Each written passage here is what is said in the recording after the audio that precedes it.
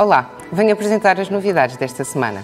Em primeiro lugar, a Susan Collins com a Balada dos Pássaros e das Serpentes. É uma prequela dos Jogos da Fome. Vai percorrer de forma hábil eh, temas como a amizade, a opressão, tudo num tom filosófico apropriado a jovens adultos. Em segundo lugar, temos o, a novela gráfica do Sapiens, do Harari, tem ilustrações engraçadíssimas e vai-nos explicar de uma forma muito simples a criação e evolução humana, uh, explicando-nos realmente o significado do que é sermos humanos.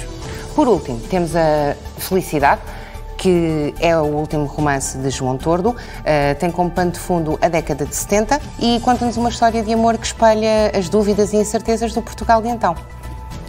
Estes são os livros de uso obrigatório Portanto, pode sempre encontrá-los numa FNAC perto de si ou numa livraria igualmente boa.